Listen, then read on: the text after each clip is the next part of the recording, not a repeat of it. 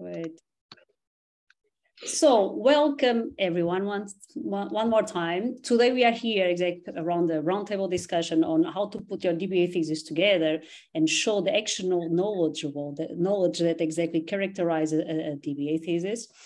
Um, basically, let me first introduce Doctorate Hub and myself. Doctorate Hub is an online mentoring community. And what we do is basically we support uh, doctoral students by providing relevant, relevant information on what to do next and how to do it quickly. My name is Ana Faria. I am one of the Doctorate Hub co-founders. Um, just briefly about myself, I have a business and economics background. I'm very much interested in re any research that is related to sustainability, to behavioral change, to uh, behavioral economics. So everything that deals exactly with the humans uh, and how, how we behave and adapt to different um, situations. Um, today, and let me see why, my dear. All right, I think I have here a small issue with my, with my dear presentation, which we'll fix now. Uh, am I still sharing? No, you're not. You stop sharing yeah, my my external monitor played some some tricks on me. And now perfect. Perfect. Oh, okay. perfect. So now, uh, for today, we exactly want to give you an overview of the main chapters of uh, uh, the DBA thesis, and actually uh, a thesis in, in general, to highlight exactly the relevance of the recommendation chapter within uh, a DBA thesis, and to discuss what factors are to consider when exactly filtering your ideas and recommendations, and in particular related to this conclusion uh, chapter. I'm not alone today. I'm, I'm I will shortly also introduce uh, the remaining panelists, starting with the ladies first.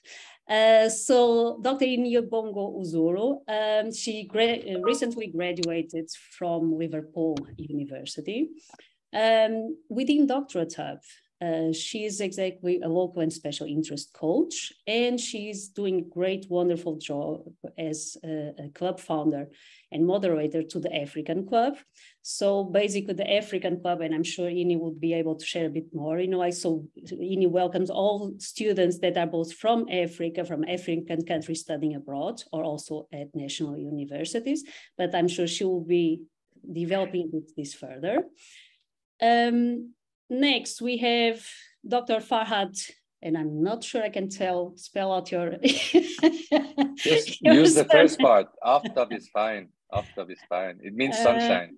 Uh, so you graduated from IAE France University, School of Management in France. Um, as well, Farhad is, is one of our local and special interest uh, coaches. Uh, later, we also will introduce uh, a number of workshops that exactly Farhad is, is also developing as a follow-up from this roundtable discussion. And last but not least, we have the, Dr. Andreas Meisner, which is one of our co-founders, basically. Um, based on his experience of, shall I say, around above 500 students, he has been a major contributor to the Doctoral Hub community in terms of the development of courses, webinars, uh, workshops. He's one of our journey mentors. And for those, I'm sorry to say that are at the proposal development stage, you will meet him exactly at, at the club that is that he founded and is moderator of. And um, to allow also, since this is a, a, a very unique topic, that mixes a bit the academic interest, research interest, also with the professional backgrounds. I will invite now also the the panelists to, to tell a bit more about themselves and starting again with Ini. Ini, please. So be so kind exactly to tell about a bit more about yourself, if you wish. Um, well, yeah. I, yes, good afternoon, good morning, whatever part of the world you are. Good evening, everybody. Yes, I'm actually based in Nigeria, Abuja, Nigeria. And as Anna has said, I'm a recent, um, actually I finished in 2021, but had my face-to-face -face graduation on July 29th. Having said that, I also want to actually give kudos to Doctorate Hub because uh, during my journey, it was that um, platform by which I was no longer alone and I had several sources that I could go to to help me on my journey. Having done that and happily um, graduating successfully, um, it behoved on me naturally to also want to support others and that's why I did not have to think twice to um, join Doctorate Hub on the flank of the African Club in uh, trying to provide support, the necessary support for similar doctoral candidates and um, postdoctoral on their postdoctoral journey. Um, it's been a quite enjoyable experience. And personally, I keep learning every day. I've gone further now to try to understand and put my name in that space by trying to see if I can publish my work and identify that niche of mine, which I'll be able to take it another step further. And like I've been discussing with Anna Andreas and others on Doctorate Hub, it's a completely new experience. So we learn every day. I was quite happy to be invited here this afternoon to just give my own small knowledge as it can be to what it takes to writing your thesis and providing actionable knowledge. Thank you so much. Thank you. And thank you for exactly taking your time to, to be here today. Yeah. Farhad, the floor is yours. um, so my name is Farhad, uh, Swiss national and researcher, and uh, originally from Iran. Um, I did, I um, I did my bachelor's in in economics, business, and uh, law, and then master in business administration, and later uh, doctorate in um, in management. Now, I've been mentoring students since my master's, which was more than 20 years ago, or roughly 20 years ago. And now I'm fortunate enough to, to do um, academic supervision and, and mentoring for more than 50 students uh, with my former universities. And um, also fortunate enough to, to be somehow uh, collaborating with uh, Doctorate Hub. Um, now, how I came uh, across Doctoral Hub is very interesting.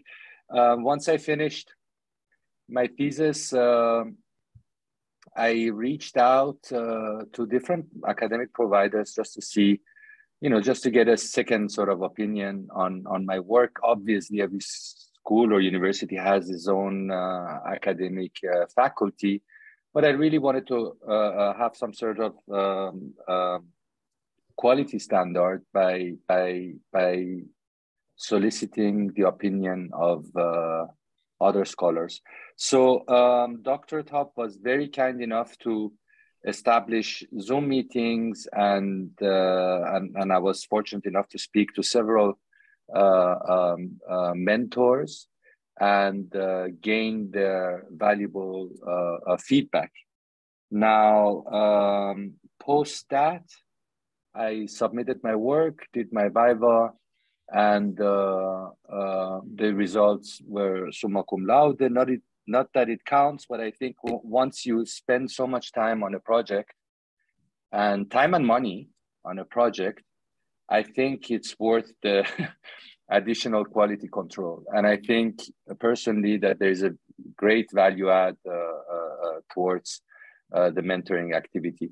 And then um, I guess after that, uh, I, I, you know, this sparked uh, a, lot of joy uh, for for passing on the the experience and the knowledge to other students and I'm fortunate enough to be collaborating now with Doctoral Hub. Now, my experience with this topic is that you know I started to write um, the methodology chapter, which is very straightforward because you know he takes some sort of grid and then uh, uh, you you you you you write your methodology and and then you do also the literature research which for me was a big headache because there is no end to to what has been published right so and then uh, once you do your research and present your your your findings you sort of think it's finished, right? So you think, you know, all is done. But I guess the toughest part is actually ahead of us, right? So uh, the chapter five, and this is something that a lot of people ignore, is that many faculty members at the panel during the Viva, they just read the introduction to see how you break down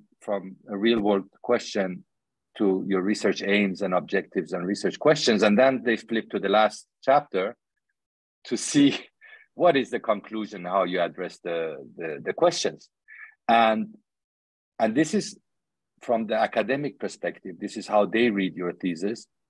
And more importantly, the practitioners who have unfortunately not a lot of respect for academia, they just care about the recommendations. So the answer to the so what, right? So they want to see the implications, not the academic implications, how you change your uh, edit uh, uh, theory.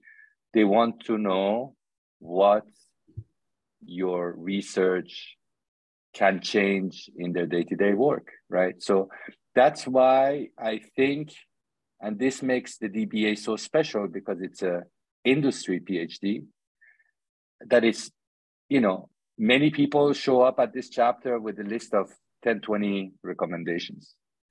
To me, that is very immature to present your recommendations. And I think the art of this chapter lays in the maturity of your recommendations because at the end of the day, you want to boil down the recommendations to three actions, right? That your your your your the, the management can do or whoever the stakeholder or or of, of, of this research is.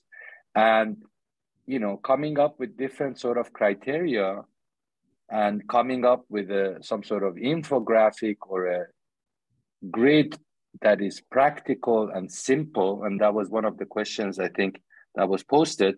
You know how do you present your your your research?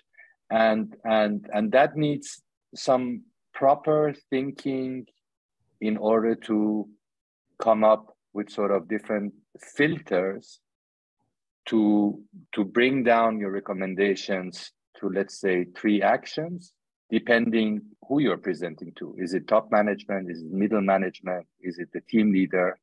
Is it concerning with a lot of investment time practicality originality all, all that? So that's why we thought you know it would be um, very helpful to to guide students uh, on, on this topic in order to be practical and achieve the goal of a DBA because at the end of the day you're there to fix a real world problem very well and you have already there's some I'll say provocative sentences and statements that I will definitely pick up later. So last but not least, and exactly before I also move to the last panelist, let me also just introduce one thing, you know, like this is a recorded session. Uh, nevertheless, you are, or what means nevertheless, you are more than invited to share all of your questions that you have along during the session. You like please just raise your hand and mute yourself or use the chat room. I'm, I'm happy to read those questions loud if required. Uh, if there's something a bit more sensitive or that you perceive that you exactly don't want to be recorded, at the end of the session, we typically switch the recording off and then exactly all of the panelists will be available to answer all of those all of those questions. So let me now give the floor to my dear co-founder that he can exactly tell a bit more about himself. Yeah, well, I, I make it quick. So I, I was introduced with a 500 and yeah, I worked with 500 students and above at the University of Liverpool's management school, DBA students that is. So I, I got a crash course in how research perhaps works or what are the common problems that research students face. And um, I was invited by several of them to, to train them in, in a number of novel ways. And this is how the doctorate hub came to life. Um, so this is a very short version. And since then, we worked with many students here at the Doctorate Hub and advanced on how we do that. And I think this is all of my background. And with this, let me loop already to what Farhad said. I think it's important to have those different perspectives and to know there are different readers um, of your thesis, right? And obviously, if you if you are at the point of graduation, the most important reader for you will be the examiner or examiners and what they get out of there. So um, the thesis must be fine-tuned for that. Uh, once you once you're good on that, then comes the second group, and it's not an unrelated group because, as Farhad said, now you must boil down the findings and present them in a relevant way, and you must also have them well derived from the data you present and from the analytics and from the methodologies used and from the literature that you brought into and from the initial problem framed. So you see we cover all of the different chapters of a thesis. Um, so it's all interrelated. And only if you master that, um, then you might become one of those unicorns. And today I met, I think it's the second or third only. So after 10 years, having only known like one, two, three students who went through the Viva and just got the degree out of more than a thousand. So you can imagine uh, how difficult that will be. And with this, I close my introduction. All right, and I think that since Farhad's um, exactly started already unveiling a bit of, of, of what a DBA thesis is all about, I perhaps would invite you exactly to, to share your experience on how how was it to exactly put the DBA thesis together and how have you dealt with exact this this last conclusion chapter? Uh, what what would you like to share on that end? So I guess, you know, my uh, my thinking on this thesis is, you know, you can you can spend a minimum three years delivering a paper to achieve a title, which is which was originally my approach. I just wanted to, you know, um, step up my knowledge, obviously, but then again, you know, we know that you know having a, a, a title helps. But I think in hindsight, it is a very sad motivation to do a thesis. I think, you know, um, ideally you want to have fun while you're studying because you know it's the highest level of education and it's usually very very difficult in terms of time uh, lifestyle management to you know deliver i don't know 150 to 300 to 400 pages. So i think before you know one of the advices that i would give myself is you know and, and i did that you know by by having these affirmations writing on written everywhere saying you're doing this for yourself and you should enjoy this this journey. And uh, so what I want to say is it is important to deliver the best you can while you're studying uh, uh, or, or, researching at, at, a, at a PhD or DBA level. So in that sense, it is, and it's uh, unfortunately you, you you never finish a proper research. Meaning, by the time this is a funny one, one of the recommendations I give to students before the Viva is read what has been published since you finished writing. so because it's constantly changing and this is what the supervisors do. They just look up and see what is the latest on your research and you're lagging behind already uh, while you're becoming an expert you're already six months behind because you haven't been reading the latest research on your topic. So that's the funny part.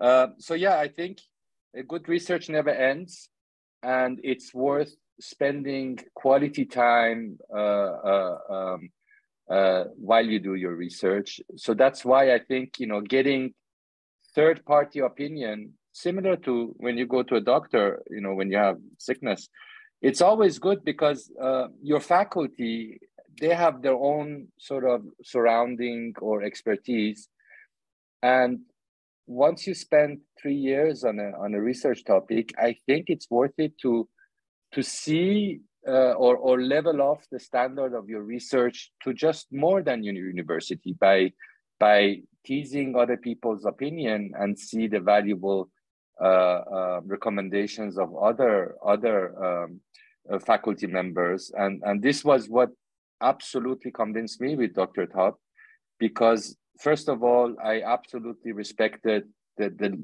the quality of the advice I received.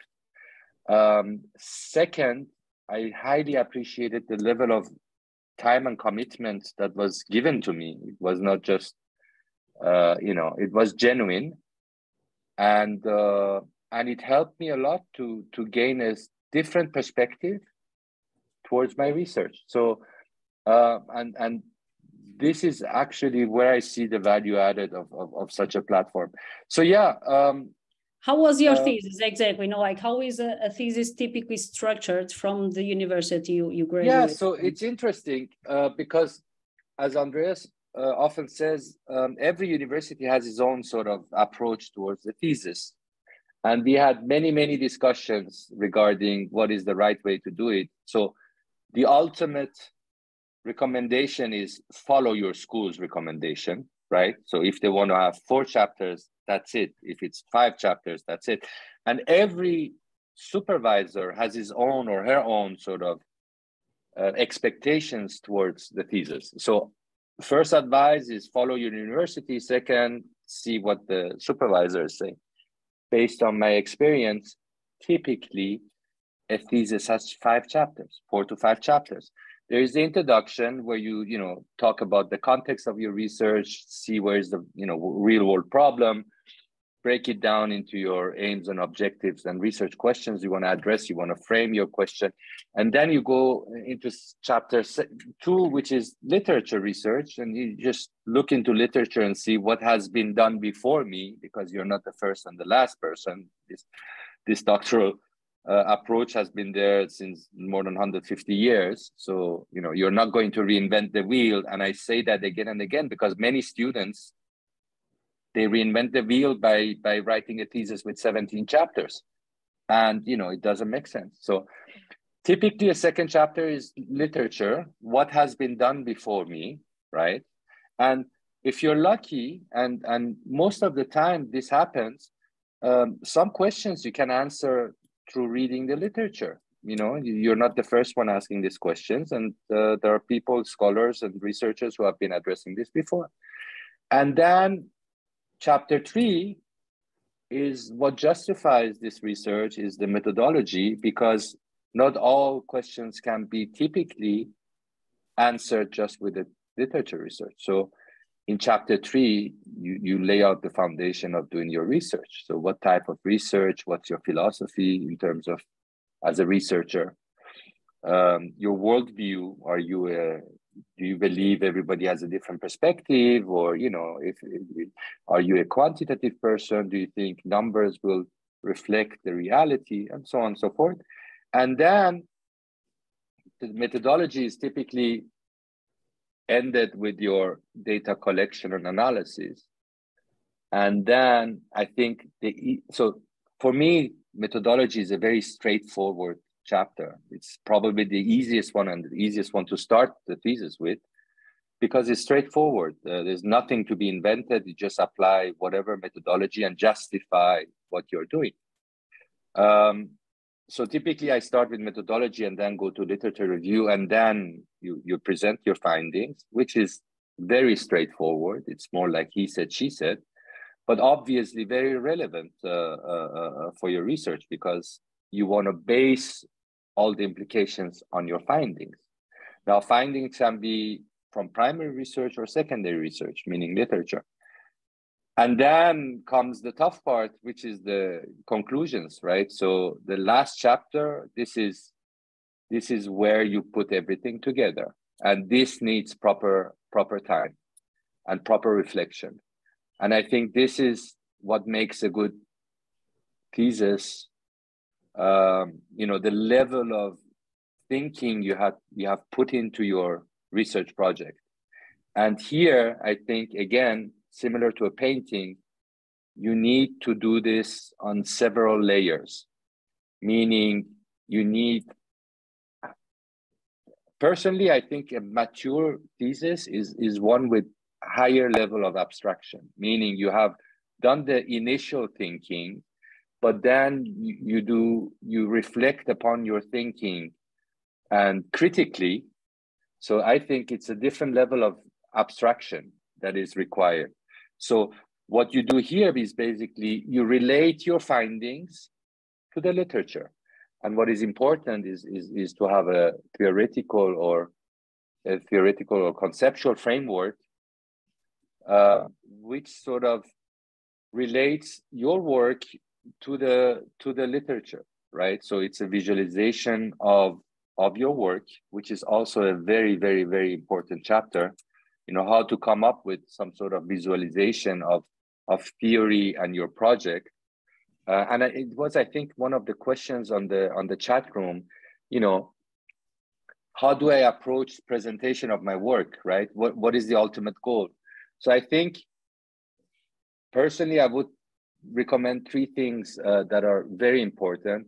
One is to have an overview of your research, sort of a mind map, but not you know a drawn map, mind map, an academic mind map, which shows you know starting from the real world issues and the context of your research to the research uh, uh, aims and objectives and and and visualizes sort of your methodology and your solutions basically on one page right so this is my research. Uh, this is your guideline. This is your mind map that you can hang on and, and think about if it, you know, just to summarize everything you're doing from the beginning to end. The second piece of advice I would give is to have a wonderful conceptual framework, meaning, you know, a visualization of everything that is out there in terms of theory and in terms of your work, your findings, you know, to visualize that one. And then finally, and this to me, it's the most important part, how do you present your recommendations, right? Uh, I think a very simple way would be I have, following my research, I have 25 recommendations. I doubt anyone is going to read 25 recommendations. And I doubt that anyone is going to listen to 25 recommendations, right? So, um, and that one is basically the, the, the, the, the part that is practical and it's important for your career because you know nobody cares how many years you have spent to obtain your dba or phd i think what they care is so what right? So what is the implications? What did you find out? How are you going to change the world right? So i think you need to have a, a, complex structure to filter all your recommendations based on different criteria. And this depends obviously on your stakeholders, on your uh, um, on your resources in terms of time, money, on on practicality, on on on originality. There are many factors you can envision to to to filter all those recommendations to come up with three recommendations. And I think, you know, I mentioned the research overview. You need a elevator speech speech for for for your work. I mean, again, what are you doing? Tell me in in in, in a one minute pitch. And this is also a typical questions they, they bring up in, in the Viva. You know, tell me what you have been doing in one minute or in three minutes or in five minutes, up to two hours, right? So you have to be able to boil down everything you have done.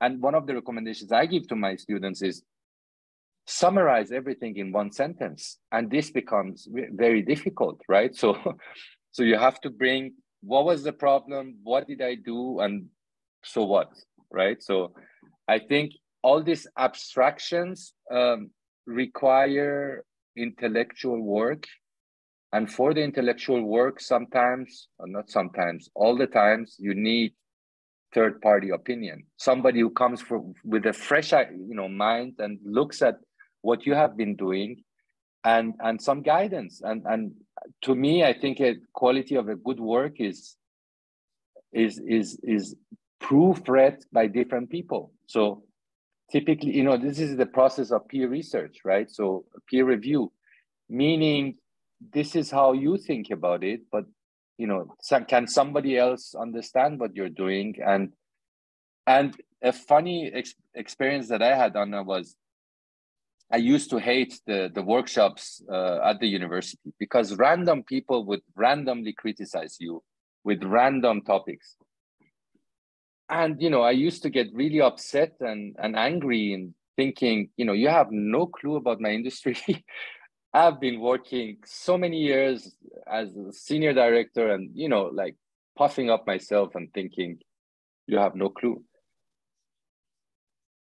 but i understood the importance of this peer challenge you know because finally when i started to embrace all these feedbacks this is when I started to evolve as a as a researcher, meaning everybody can criticize your work, right? And everybody's opinion is very valid. So obviously, I was very focused on my supervisors because they were my bosses, and you know, I cared a lot about their feedback because they were the scholars.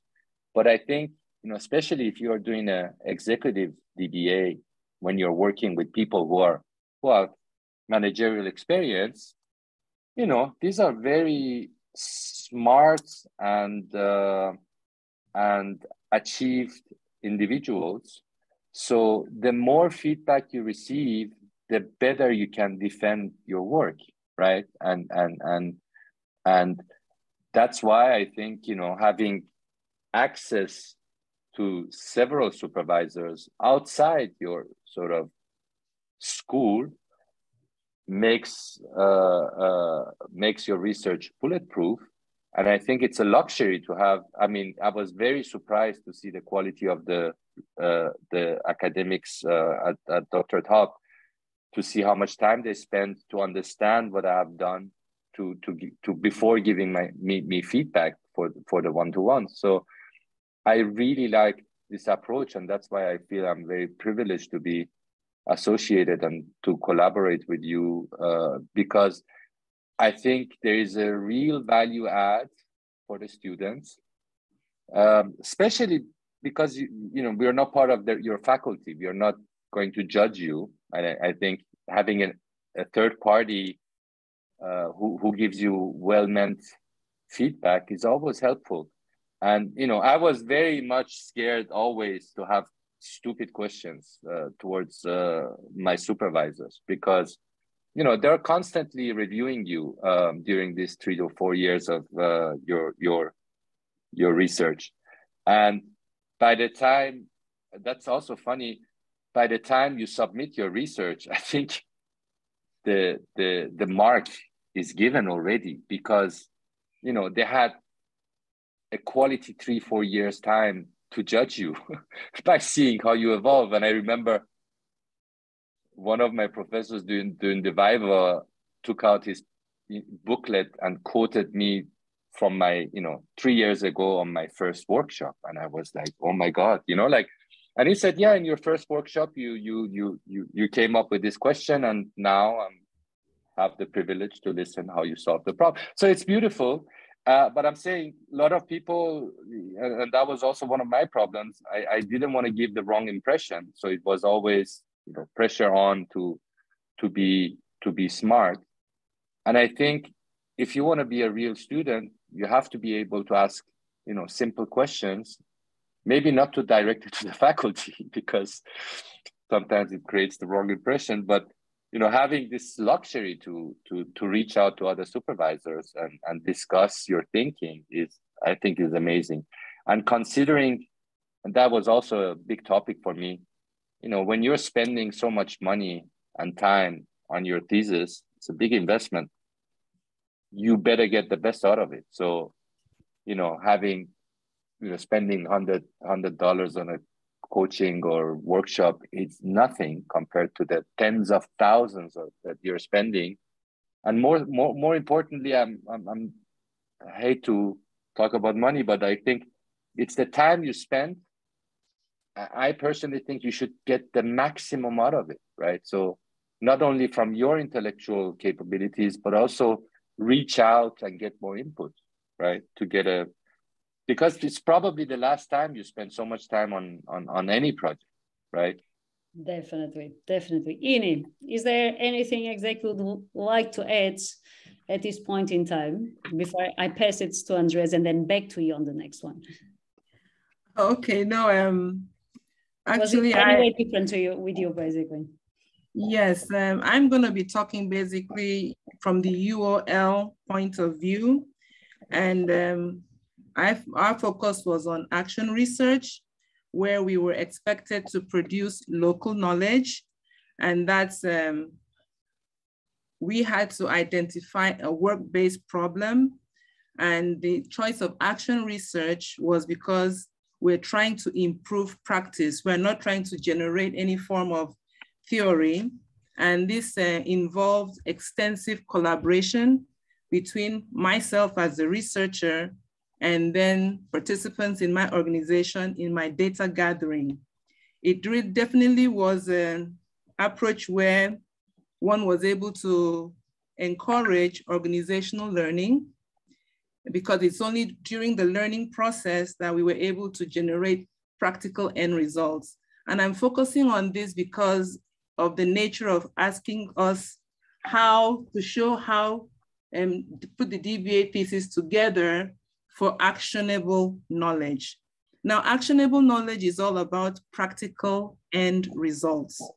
And um, this, in my own case, was done through an adaptable spiral practice where we had to go through the cycle of constructing the problem, planning, we then take action, then stand back and evaluate the results of what happened there and then, and then key that back into this, into the research process and iterative process. Now, in terms of the chapters themselves, my thesis in particular had, um, well, I think I had about six chapters, but immediately after the introduction was the methodology. And that was because based on the design of my research, I had to you know, get information from the organization before now taking that identified problem back to literature for me to now identify with what I'm seeing in the organization, what does literature have to say about it? And then from there, now took the findings with the research questions that came up from the research, from literature review. And then I now went on and on to go into the system with two cycles, two action research cycles, and then later on with the discussion and uh, conclusion. But like we said, actionable knowledge in terms of what I was, uh, my research, you know, it was all about looking at the three voices. First and foremost was how did I change as a person, which was my first person learning. And then during the stage of in getting information, data gathering from the organization, that was the second person learning because I'm not getting the voices of the participants with the problem that I had identified. And then last but not the least, which is, which is actually the actionable knowledge is what, what am I able, what, which learning can I, as can be transferred to be applicable to other organizations? In terms of my thesis, what's the dissemination of the findings to a broader audience? And um, like we're saying, all this is on, all this focuses on how do you want to put this information across? And just like Farhad has said, you, you learn so much from, you know, sharing your findings, having others read your work, going to like Doctorate Hub to discuss what you have, your challenges. You know, all this is we or you now trying to improve your learning, expand your knowledge. You know, you want to add to the body of knowledge. So you want to know what's already existing. With this problem I have, has it been done someplace else? Or is there something else that can be added? And generally, in a nutshell, the ultimate goal of the research, the from the UOL perspective, the whole um, goal of our research was to develop actionable knowledge. In my own case, I was focused on the lack of adoption of a, a, a, system in my organization. And I was able to come up with a model. And just like we were saying, while you're trying to write your thesis, you must be sure of the lens in which you want to apply. Why? Because if the lens of your research is found faulty during your viva, there is no ground for foundation on which you stand on the findings that come up.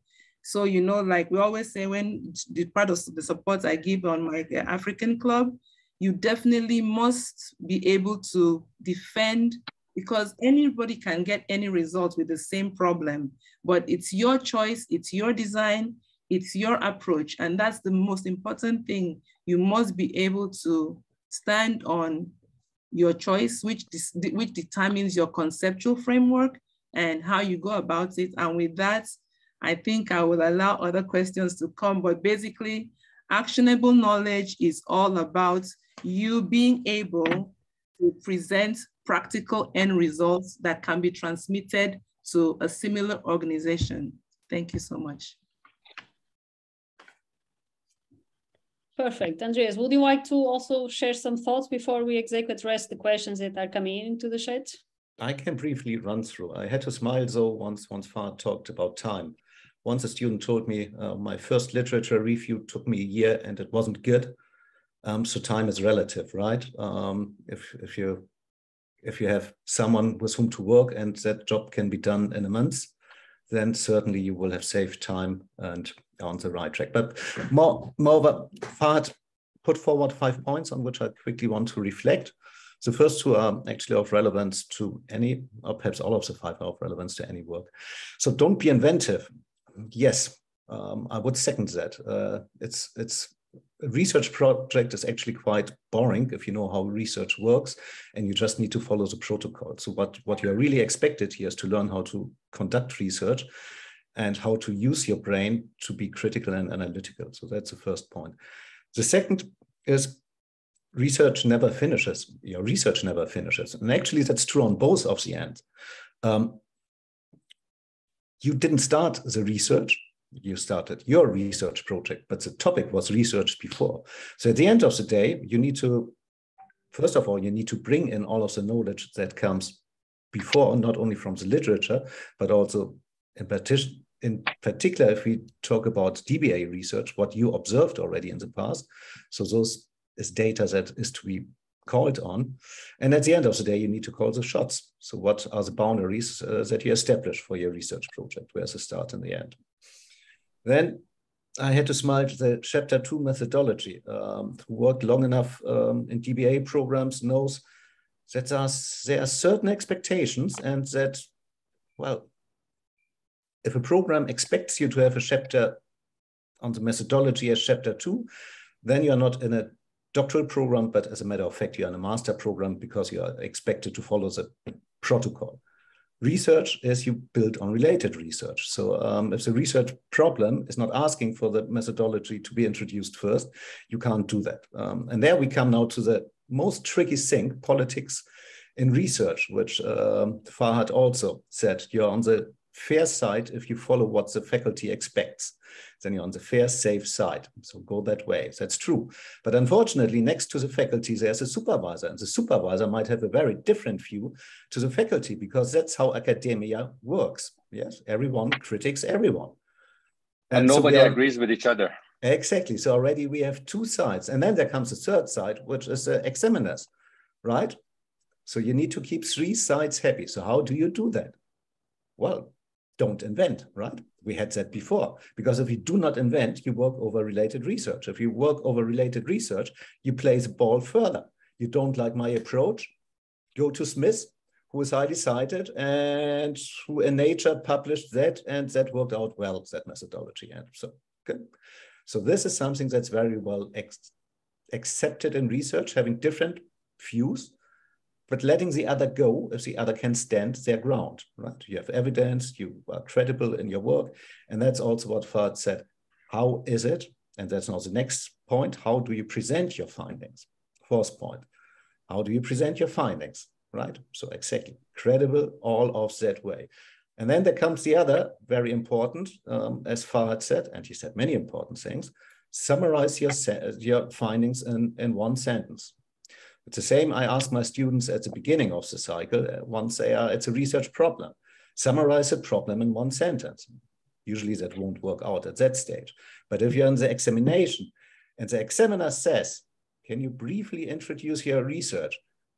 Then the worst thing that you could be doing is take more than two minutes to do that. And unfortunately, most of the times that I see that, that's happening. And I'm sitting there like that waiting for that moment where I can cut in, not being unpolite and say, thanks, but stop. Right? So don't make me looking like that. Or if you see another one looking like that, understand that's not a happy smile. Okay. So, and with this, we comes to come to the fifth, which is exactly the peer challenge, right? We talked about it's critical. You might not like it to be critic, in particular if you're from the business world. Hey, I'm here a manager. I know how that works. Yeah, no, you might know how that works in your business, but you're here in academia. Things work different. We critic each other. And we do that not because I don't like that. I mean, you can also do that, I believe, but no, we would do that over data and evidence, right? And we make arguments out of that. And we do the point, get the point or not. So those are the five follow-ons um, in summary on what Farhad introduced and what I picked on that. Ball back. Um, may I, or is, is there somebody else? No, no, exactly. I think we have quite some questions. Uh, yeah, yeah, yeah, yeah, yeah, so I, I, I wrote them should... down. I wrote them down, and I want to talk about them. So we had one great question uh, uh, regarding challenges, right? So, and it was one of my favorite topics because because the thesis is full of challenges, right? So, and uh, there is no proper research without proper challenges, right? So, and I think, and this is a topic that brings a lot of passion to me because at, at, on one side, you're expected to go and present a perfect sort of research and defend all your choices and uh, justify why you did what you did. And uh, sort of say, you know, this is the best way to do it, and that's it, and come up with some random future research uh, recommendations that somebody else can do to enhance somehow your research, but still your research is perfect. I think um, a good researcher knows his limitations or her limitations, meaning in terms of um, methodology. Obviously, you know, no method is perfect. So that's one thing. And then, you know, I think you should be quite honest in terms of, you know, what kind of challenges you you you you you you came across.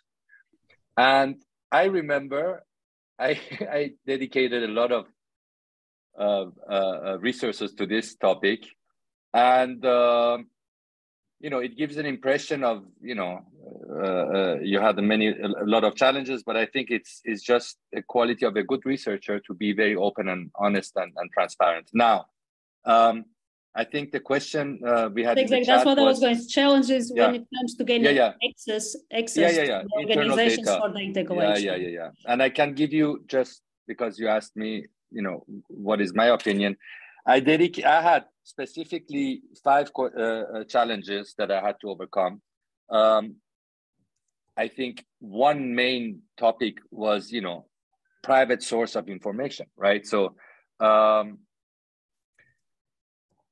some data or, or clients, uh, not client, but company specific, and they don't like it ending up uh, in a, it's a random library with millions of people having access to it, right? So because you know uh, they talk about strategy and this is you know what what what lo- academia loves internal source of data right? So because they don't see it and and you are the practitioner who has access to it. So getting access to that is, is a tough one. So in my you know some cases and i think you know industry related phds are are you know it's the latest development of phds or this dba it's very practical. You're working in an organization. You're working on a specific problem of the industry. So and i you know there are some some some executives that actually take a project and make it a you know thesis which is wonderful meaning they they influence and i have a couple of students like this what you know they they take a company problem they work on it and everybody's aware of it, right? So the company knows that you're sort of an internal consultant fixing their problem. So in that case, there's no problem having access to, to private sources. But if you're there to criticize your industry, if you're critical towards, you know, in my case, I, you know, I, I was, you know, talking about short-sightedness of, you know, CEOs, uh, you know, profit orientation of public companies. You can't really, you know, quote uh, the CEO and and let them know what you're doing. So yeah, so and then also uh, the, the, how have you managed exactly to overcome that? How have you managed to have access to the the, the people that you needed to collect your data, basically? If, so, if exactly can yeah, share yeah. that this, this public. Yeah, and again, also there are also companies which have as part of the company policy that you cannot share your opinion. And that was also one problem. I had interviewees where the company would say, no, you don't talk to sort of media, which is also sort of public, right? And then, uh, so how did I overcome it? Yeah, absolutely. Um, you can ask the university to keep your uh, thesis sort of secret, meaning not public, right? So this is my solution to. So that's because it's quite. Yeah, yeah, it's quite private, to have access yeah. to the people you needed to talk yeah, to, you opted yeah, to have. Exactly. I mean, everything is anonymized, but still, you know, you're talking about very sensitive topics, which is in my case was com, you know, company strategy, which is you know, trade secret, right? So, so the private source and company policy is, is one area of challenge, and then client confidentiality. Obviously if you're talking you know to clients we had a question regarding uh, uh, regarding uh, surveys right? So you want to keep respect the individual's rights to you know keep their there's also the whole chapter on on on, on privacy uh, uh, uh, when you do research. So client confidentiality is a big point um, when you cite them uh, so that nobody can know who's actually behind uh, this this this uh, uh i mean obviously you should know but you know uh, not everybody else. Data I don't quality. Also to cut you short, but I think we are we are slightly running, you know, like uh, getting in like to the one hour. So if you don't mind, I also would love to pass it the ball to to If Exactly, that's something that she also faced in terms of gaining access to to the organizations for data collection. If there is any insightful tip that exact to be provided. Uh, no, actually, in my own case in particular, because I was an insider researcher, those are part of the things that were already in consideration when one was uh, thinking of the ethics of it all. You know, you had to consider um, who you were going to be asking questions from. You know, basically, it was part of those things that were taken into consideration before even arriving at using the actual research methodology, yes. Okay. So there were those things that were already put in place and considered. So there really were not much challenges in my own case. Okay, okay. So we have here exactly one. Do you want them to unmute yourself? I assume this is still related to this question, correct, Rui? Deb? Yes, it is. Yes, I, I just wondered um, eh, with respect to being an insider um, in your company, um, how how did you address potential biases? Um, um, of course, having knowledge of your com- of, of the company already, how did you how how did you address um, that aspect of? Um, of I think the the best way to to address that is is triangulation. So peer review and and and you know because you know we are fully fully uh, trapped in our own world, right? So that's why I think you know getting different perspectives on your work is so helpful. So in my case, I I, I work with peer researchers, and and you know in every step I was doing, I was challenging myself by you know even from coding, you know how, how you code to to how you show your results. So peer research uh, triangulation is awesome just to to to be challenged by other academics uh, uh, on on what you're doing to to you know to cap you know to reduce this these biases that and there are a bunch of biases that you come across. And again also in methodology you should you should address this this part uh, very carefully. How you you know cl- close your your your your mental gaps you know things that you don't know that you don't know or things that you know that you don't know very important question. Yeah. Yeah, the only also some. I uh, sorry, exactly. I wanted to to pass the ball shortly to Andreas because he also commented okay. on the chat. Okay, no, that's, also, no, no, okay. no. Go ahead, please. No, that's okay. No, no, no. Um, I want just wanted to say that the the challenge I encountered more was rather like in the role ambiguity, where at one point in time, I'm wearing the hat of the researcher. At another point in time, you know, I then have to be the manager in the organization and, you know, just trying to under, let the, the participants understand that um, whatever they say is uh, going to be anonymized and not held against them in terms of their could it be promotion or whatever, or uh, their, their um, evaluation later on in the year and all that. But um, since it was already, since I already had an idea of the challenges that um, well, that um, would come up, it was a case of me dividing and knowing that at this point in time, this is the hat I'm wearing. And the second time I'm exchanging it to wear this hat. So it's something that I, eh, as a person, I knowingly went into and I was able to, you know, um, when taking my decisions or evaluations on decision, actions I've taken, I, I, I wrote this down in the in the in my research so that it was known. And then another one was, of course, the organizational politics, which one cannot rule out in trying to get to what you're getting and all that. But basically, um, once you're able to identify ahead of time challenges that could come up, it gives you room to plan on how to work um, ethically within this um, realm. Thank you. I think that this is exactly a very interesting topic, potentially for another, you know, like roundtable discussion, exactly how uh, to make sure you have the access to the people you need to to to answer your surveys, your your your interviews.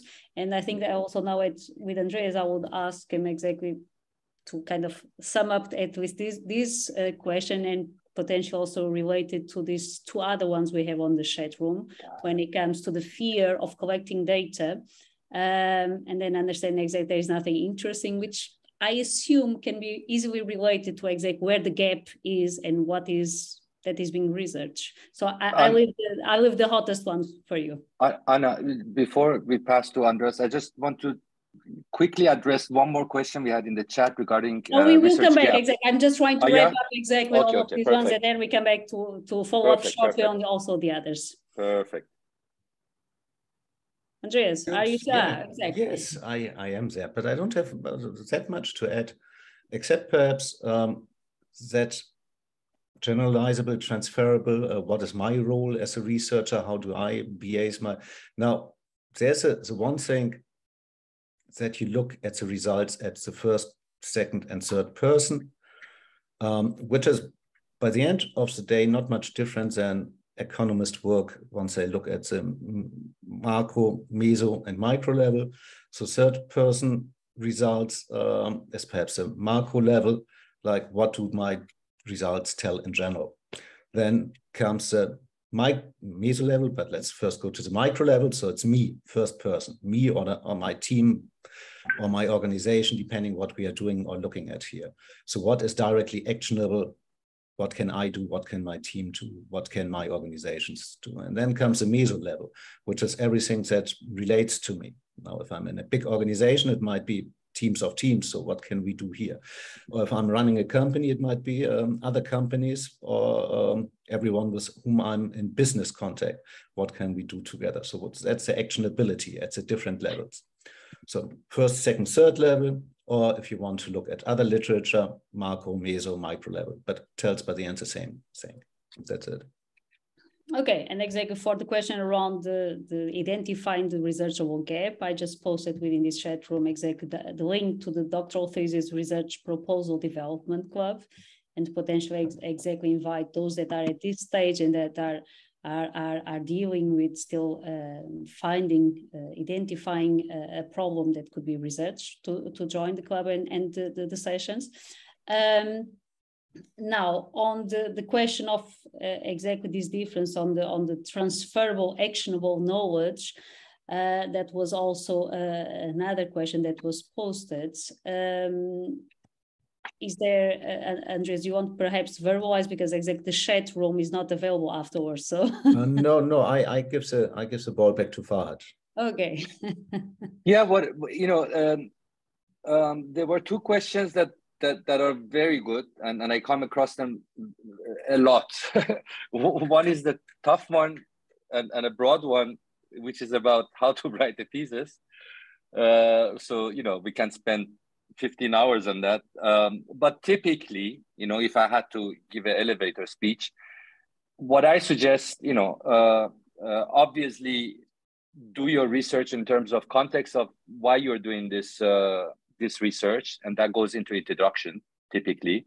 So this is what you do when you are, you know, in the beginning stage of your research, and then um, methodology is very straightforward. There's a right and wrong how to do the methodology chapter. So, and it's a very important chapter because this is the area which where the school teaches you to become a researcher, right? They can actually teach you that.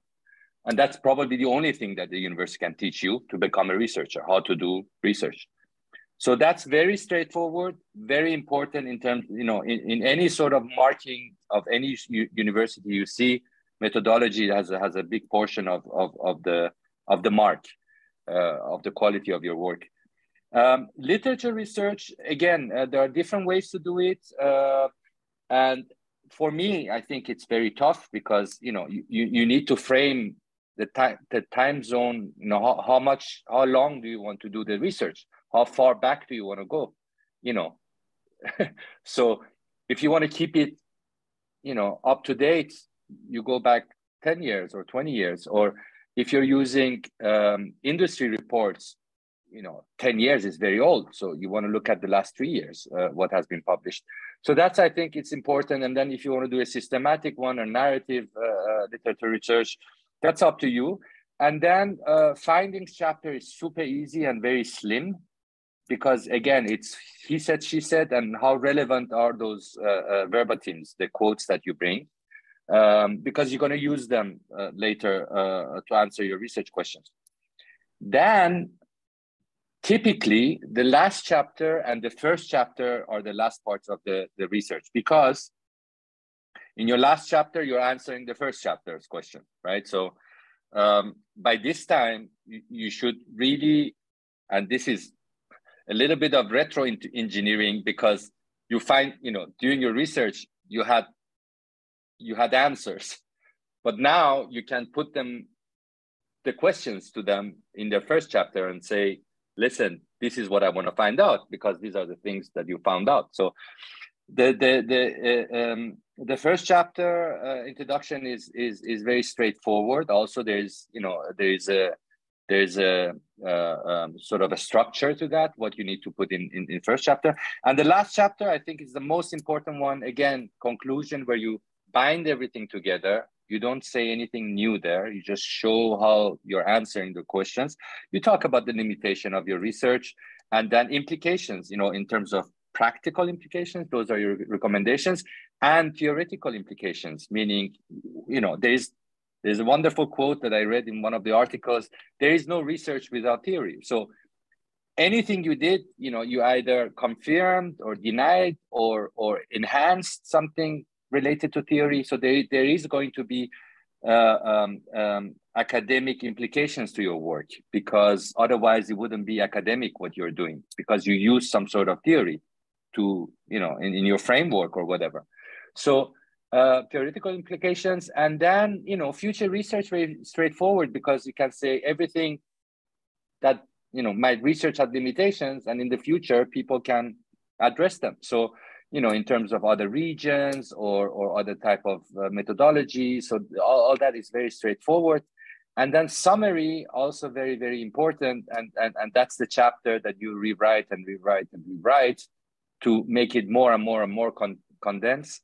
And uh, and uh, that's it. And in terms of references, I think the minimum amount you should at least have 100 references. I personally think the more references you have, the better it is. And in terms of mixture of references, you want to have academic references. You want to have, and I'm I'm specifically talking for a DBA, so a business related uh, uh, uh, uh, thesis. So you want to have academic re- uh, references. You want to have industry references. Those are, you know, industry reports. And you want to have uh, scholarly references, meaning, you know, theses and PhDs that you use to read, uh, you know, what has been done before. So I think in terms of breakdown, 80% should come at least from academia, 70 to 80%. and then you plug in 30 to 40% of, of, of uh, relevant industry reports in terms of citations uh, in order to be very relevant uh, uh, as a thesis. And then page number, I guess something, you know, if you are, depending on what kind of methodology you're using, obviously quantitative research is less paper heavy than, than qualitative. You know, a quanti research, if you're a genius, you can do it with uh, 100 pages and again, I think uh, we were having this discussion about references. Yeah, if you're Nobel Prize winner, you can have two references. That's possible, but probably none of us are. So, you know, you need to showcase the fact that you have read a lot because you want to be an expert on that topic. And then, um, so in terms of page numbers, really 100 is the minimum. And then towards up, depending if you're doing a PhD or DBA, I think some universities are 150 pages. I, I, I, think it's very safe to, to write 150 to 200. Obviously, on the top side, you can write as much as you want. But then again, you know, always think who's going to read it, right? So that's what I would say. And then the second questions that I really liked also was about research gap. So, uh, very important topic. Um, first of all, um, that was also a broad question. Um, I think a research gap justifies a thesis, right? So, meaning that's why you're doing your thesis because there is a gap. So it, it's a very important justification for your thesis. Now, research gaps um, come typically in literature. So when you read about your topic in the literature, there is always uh, a, sort of a paragraph talking about the research gaps. And when you read also about future research, and uh, and those recommendations are also around research gaps, meaning future research can close research gaps, and and this is a good place for any researcher to justify their topic. I mean, if you don't know where to start, read some articles about your topic and see what kind of research gaps researchers are talking about, right? And you can pick some of them and try to address them with your research. So I think it's a very, very important question, research gap. And, and every research should at least, personally, I think should at least address one to three, not at least one to three, but at least three research gaps. I think, you know, to justify why you're spending three years of research, you know, you, you, you better close some research gaps. You know what I mean? And exactly, thank you, Farhad. And before exactly we go either to the last questions or to last thoughts during this webinar, Ian, is there anything else that exactly would like to add to to to at this point? And in the meantime, if you have like a last round of questions, please share because exactly we are we could spend here like two or three hours definitely, but we are coming exactly we are already above one hour. So just oh, please uh, uh, post them at the chat room. So Ini, any last thoughts? Any last? No, no. My my last uh, thoughts is just to tell everybody that's here who's a doctoral student or pre-doctoral, as the case may be, that it's a it's it's a long journey, winding, hard work. It, it, it, it demands hard work. However, everybody can get to the finish line. And when you definitely get there, there's a very satisfying feeling. So do not relent, do not give up. Thank you. Thank you, Ini. Correct. Anna? Yes? I think there, there was this question regarding the last question in the chat is uh, are there some uh, I, I will workshops? exactly come. I, I'm not ignoring yeah. that question. I'll, I will come to that one at the end. Awesome. No worry. I'm exactly just finalizing and wrapping up any and exactly any uh, awesome. additional comment or, or, or anything. Andreas. Yeah, well, let me just um, very briefly pick one word, re-engineering. And I think this is what, what Farhad said, and that says it all. At the end of the day, you know much better what you did, how it looks, how it fits together. So put the final structure of your thesis in this light together. Does it need four chapters, five chapters, six chapters? Uh, where do I, how do I present the data? Do I need to present the data in a way that I first analyze it in itself? Or can I just do it against the literature immediately? So those are two different things. Does it need to be shown or not? And then exactly where do you do the analytics? Do you do you do that together with data presentation, or do you move that a bit into your own chapter, entirely into your own chapter, or do you put a bit in the three chapters, data presentation, analytics, conclusion? So this is just cosmetics and engineering, as Farhad said. So don't spend too much time at the beginning, like how many chapters do I want to have? No, you know what research must cover, right? Six points must be covered and those six points will be spread over any number of chapters. In my case, it was over a number of 13 chapters because I had to repeat things. So that was research not done that well, but re-engineered in a very nice way that it fit. That's it.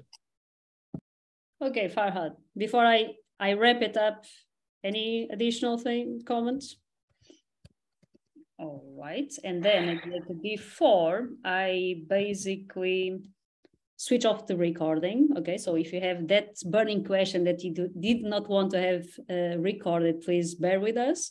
Let me also just answer exactly one of the questions that was at the post. Um, we are at Doctorate Hub exact. We are we are uh, um, always listening to to to to you basically and as part of this exactly we often have during our webinars exactly the, the request for follow-up uh, workshops and exactly where, where people could students could work out specific topics and as a continuation exactly as, as a follow-up of today's webinar uh, exactly Farhad uh, offer himself to, to, to host two webinars with slightly different nuances. The first one is exactly more of a, a two hours talk where exactly he will share some some some knowledge on how to to to get your thesis together and exactly how to move further. And the, the second one is, and I'm apologizing now because I exact the dates are actually not correct. So it is it's it's the week after the 10th. Um, this one is already a more like personalized, so where you will have the chance of discussing your own research in particular in a, in, in, in a session with Farhad together afterwards with, with a group discussion. So I invite you exactly to, um, to visit our workshop page. We will be within the next weeks um, in, enhancing, increasing the offer of workshops exactly at, uh, on a variety of topics. Uh, if there are exactly also any questions, um, you have your uh, yeah. Anna, uh, can, yes, can I add something? I think personally, what I like about doc, Doctorate Hub is the fact that you have so many scholars, right? So I mm-hmm. think the students should be able to you know have the one-on-ones with any any of the coaches right? So and you have and that's exactly where i was coming more than, exactly, i was coming than, exactly you know, to that. So i will yeah. close this this uh, roundtable exactly uh, how i should have perhaps started by telling you that you know like i'm not only the co-founder but the kind of the go-to person if you exactly need a, special advice or if you want to reach out to one of our mentors of our coaches you have here my email. So don't uh, don't be shy. Exactly. Just drop me a line. Tell me exactly where you are what are you exactly uh, needing and I'm, I will put you forward exactly the resources, content, people that exactly can provide you the support you are looking for at that specific moment. And with this, let me exactly just shortly check if there are any questions at the forum. Uh, and since they are not, I will now stop the recording. All of those that exactly would wish to ask a question to any of our panelists, feel free to do so afterwards.